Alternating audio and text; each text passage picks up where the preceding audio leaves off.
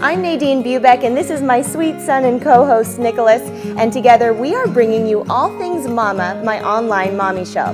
Now, I am loving every minute of being a first time mom, but I'm kind of figuring it out as I go. So I wanted an outlet to share my findings when it comes to nursery essentials, must have products, fashion for mom and baby, and of course, we'll throw in some stuff for dad in there. It's super fun, very chill, laid back, so please subscribe to All Things Mama.